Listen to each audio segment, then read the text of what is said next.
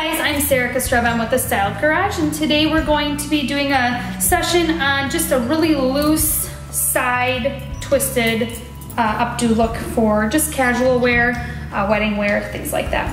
So what we're gonna wanna start with is, I already prepped her. I used a curl stick. Um, we used a lot of the Session Hairspray by Kevin Murphy. We used some bodybuilder on her for, to hold her curls. And now I'm just going to, basically, we already loosened her hair as well, so she's basically set to go. What I wanna do is I just wanna create a little bit more volume through this base, so I'm gonna kinda show you how to do that with a teasing comb.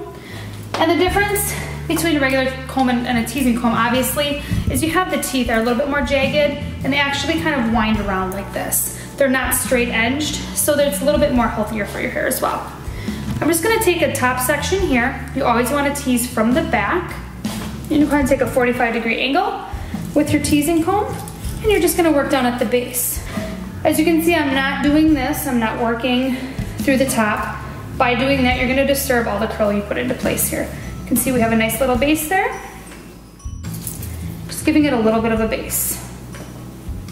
Now these side sections, I'm just basically doing this just to blend this in a little bit. Not needing a whole lot of body through the sides. Go ahead and do another layer of the session spray. And if you always, too, if you have a hard time using a teasing comb, you can always spray this section after you tease it and then go on to the next section, do a layer. You just gotta make sure you're using the right hairspray. Um, you wanna use a layering hairspray. You don't wanna use anything that's real, real heavy. You're not gonna be able to work with the hair after. So our favorite to use for any type of casual or wedding hair is the session spray. All right, now you're just gonna go ahead and you're just gonna kind of look at yourself in the mirror and you're gonna balance your hair using your fingers.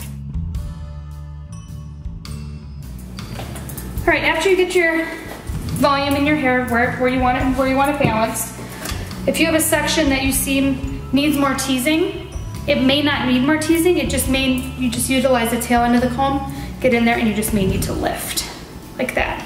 You may need not to tease it again because what, what can end up happening is you can disturb everything else that you just did. So you can use the tail end of the comb to lift and you can get a lot more volume in there.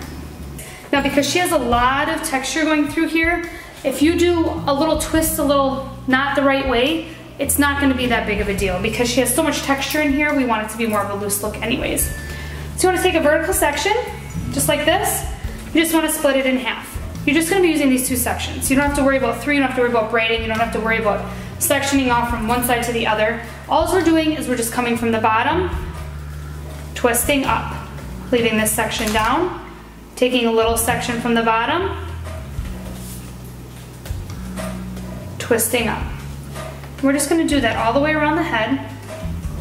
And you can see this is very loose, okay? If you wanna make it tighter because you're afraid by the time you get over here, it's going to be real, real real, real loose, you can do that because we can always loosen this twist. So we can get in there, we can make it real tight if you want.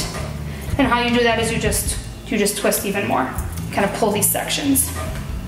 So again, I'm not doing anything with the top of her hair. However this top section is falling through here, I'm just leaving it. We'll, we'll worry about that later.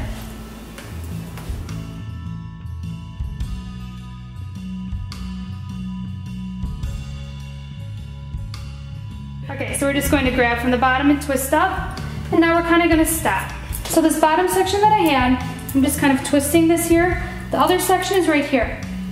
Okay, and I'm just gonna take a bobby pin. Now this is where you can put a ponytail holder in if you wanna put a ponytail holder in or whatever. I'm just gonna take a bobby pin, I'm gonna open it and I'm gonna straddle this here, and I'm gonna push it down and back. And that's gonna start to secure. Now she's got a lot of hair, so we're gonna have to do that more than once. Okay, so now you can kind of see we got our twist. We have this little curl hanging out. We got this kind of all messed up here. That's totally fine. So what we're gonna do is we're just gonna kind of take this curl out. We're gonna lift up here. That teasing is all under there. So we can start pulling on this side a little bit.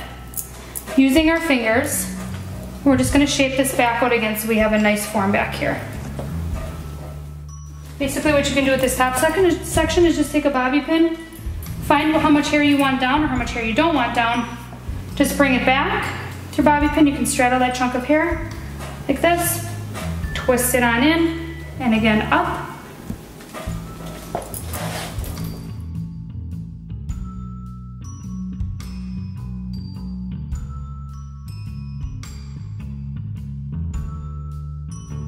So that is our session. Just a really simple twist, and I hope you enjoyed it. Thanks for watching.